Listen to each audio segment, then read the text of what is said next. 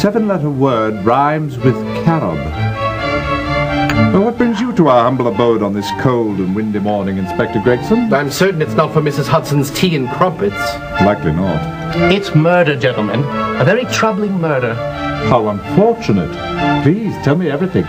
The chief accountant for the Bank of England, Oswald Mason, was found murdered at his home at 10 o'clock last evening by his wife. He seems to have been a simple, hard-working man, and on the surface there seems to be no motive. What about the yard? I can't believe Scotland Yard has exhausted all its resources. Why are they turning to me? I am here at the request of the Exchequer. It seems that Mr. Mason was doing some important work for the Treasury, and the Chancellor wants to make sure that this gentleman's death has nothing to do with the work he was involved in. Have you any evidence that the murder is related to the Treasury matter? No. I tried to convince the Chancellor that unless some new evidence turns up, it looks as if Mason's death was just another commonplace murder that the Yard can solve. Holmes always says there's nothing so unnatural as the commonplace. You learn well, Watson. Ah! Yeah. And as soon as I finish this vexatious crossword puzzle, I shall look into the matter.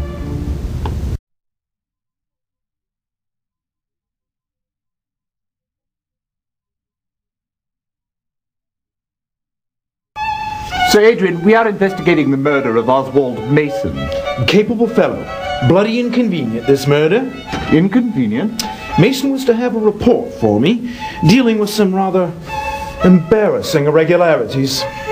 Do you feel that his death might have anything to do with his work here at the Treasury? Well, the investigation was dealing with some rather large sums of money. But a murder, it doesn't make any sense. It won't stop the investigation, only delay it. Besides, all of Mason's papers were accounted for. What was the nature of Mr. Mason's investigation?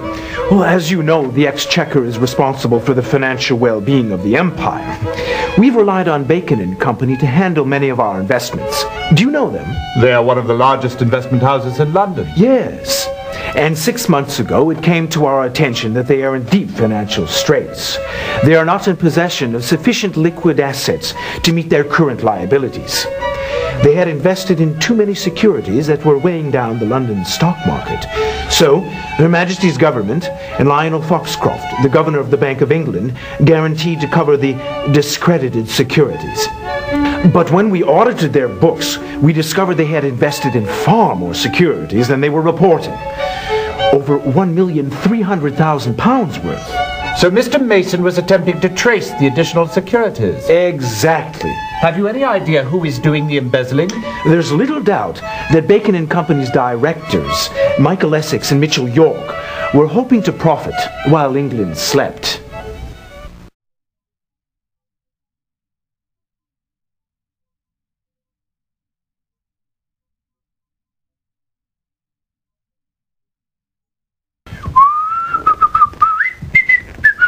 Standing guard, Constable Parks. Yes, sir, Mr. Holmes. Waiting for the yard to make its final inspection, so I'm making certain everything stays just the way I found it last night. Where was the body found? Sprawled across the desk it was. You can see the blood stain on the top.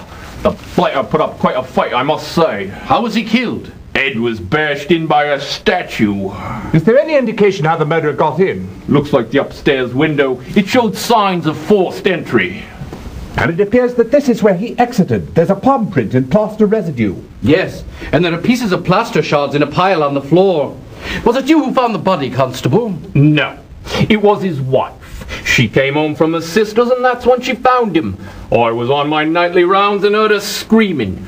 Then I came in and I saw this mess. I covered up the stiff and promptly had him sent over to Bart's. Then I gathered up the man's papers and took them to the yard. What about the murder weapon? Oh, yes, I had that sent over to Murray at the lab. Where is Mrs. Mason now? She was taken to her sister Dahlia's. Dahlia Farmer.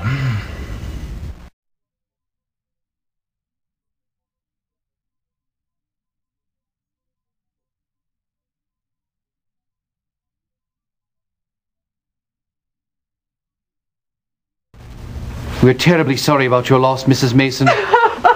There, there, dear sister. we know this may be difficult, but we need to hear about last night's events if we're to catch your husband's killer. Yes, I know. Well, I. I was here last night for her weekly whist game. She comes every Thursday. Oswald stayed home and worked on some papers from the office. The man had been working very hard lately. Was he expecting visitors while you were gone? No, I don't think so. I returned home at 10 o'clock and went into the study and... Ah! You tell him, Delia. The place was in shambles. Furniture overturned, books strewn about, and in the middle of it all was My poor Oswald! Ghastly. Who could possibly have wanted to hurt him? I can't imagine.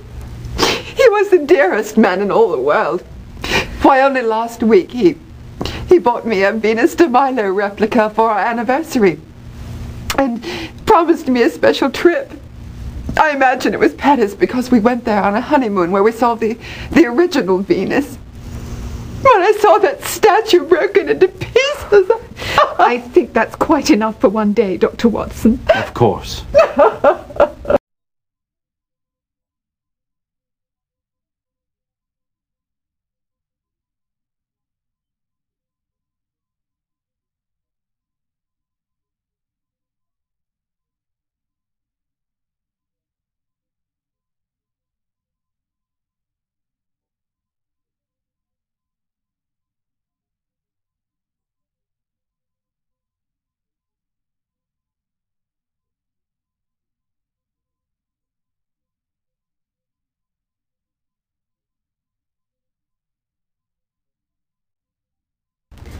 Mrs. Small, we are interested in obtaining information about the Venus de Milo statues that your company manufactures. I must say that certainly has become quite a popular item lately. We understand they're smashing. That is precisely what a nice gentleman said when he came in on Wednesday. He didn't mention his name, but he did say that he had a shop in Southampton. He purchased our last five and wanted to know where he could get more. I told him the rest had been sold to other shops.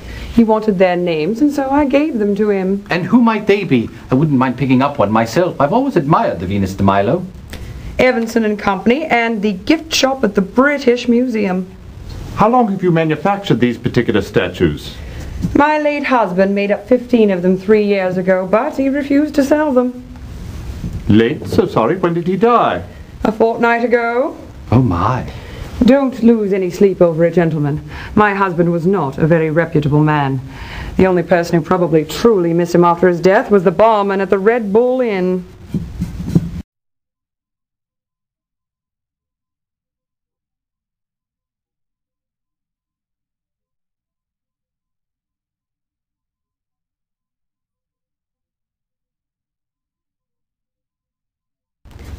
Mrs. Small, we are interested in obtaining information about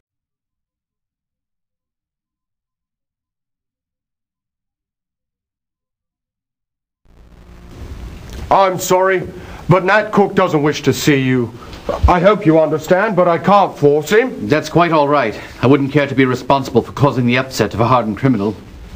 Perhaps you can tell me a bit about him. Nat Cook hasn't been a spot of trouble since he's been here.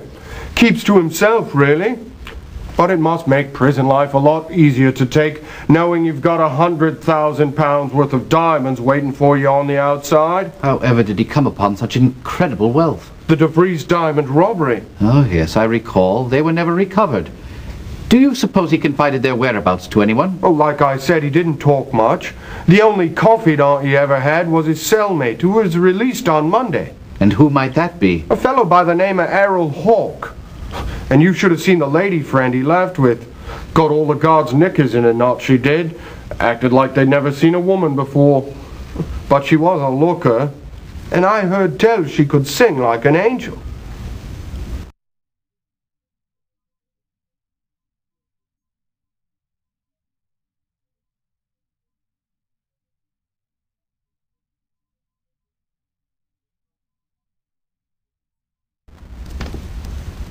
Excuse me, I'm eager to see one of your Venus de Milo statues. So sorry, sir. We sold out of them yesterday.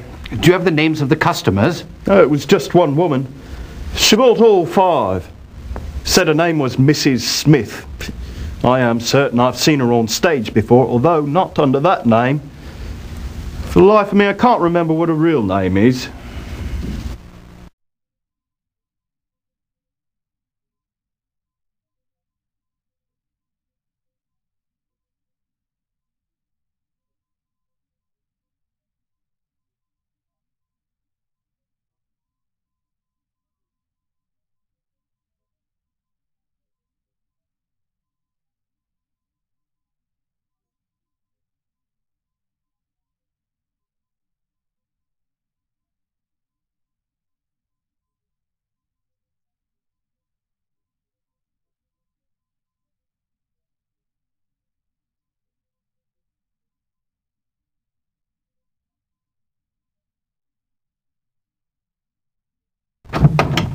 She's not in, Governor. I can see that, Mr. Kent. What a sight. What a pity to see so many lovely ladies turned to fragments and dust. The British Museum. Well, she might be a bit untidy, but she is a woman of culture, she is. Yes, I can see that. Do you know where I could find Miss Blue? Left about 20 minutes ago with a young gent.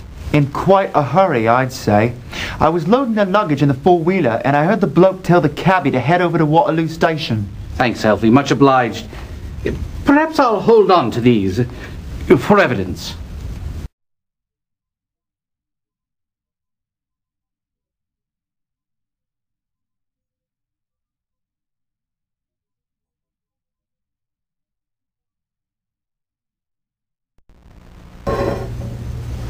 We're investigating the murder of Mr. Oswald Mason.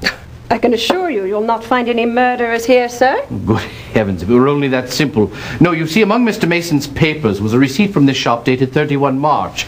Do you have a record of what he purchased? Well, let me see. Ah, here you are. Well, the man did have a sense of the popular. He purchased two Venus de Milo statues. It appears we delivered them both for him. Might you tell me where they were sent? One to Rose Mason at his home address, the other to a Mabel Brown on Tottenham. Oh, do you suppose he was having a dalliance? Hmm, this time I'm not supposing anything.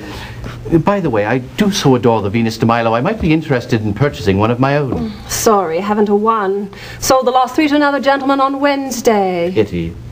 Perhaps I can get more from the manufacturer. Who might that be? J. Small and Company. Have you heard of them? The name does sound familiar, but I'm not sure. Thank you for your time, Mrs. Billingsley. Good day.